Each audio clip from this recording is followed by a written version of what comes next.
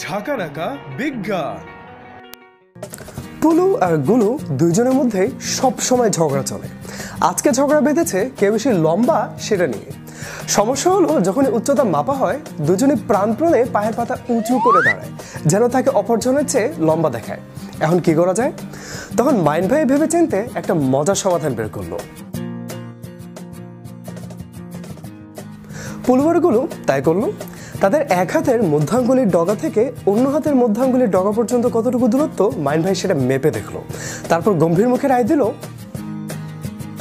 এখন অন্যজন তো সেটা কিছুতেই মানতে চায় না। এ আবার কেমন মাপা মাপি দেখে বিশ্বাস হতে চায় না, কিন্তু তোমার মাথা থেকে পা পর্যন্ত যতটুকু দূরত্ব, দুই হাত ছড়িয়ে দাঁড়ালে এক হাতের আঙ্গুলের ডগা থেকে অন্য হাতের আঙ্গুলের ডগা পর্যন্ত ঠিক সমান দূরত্ব।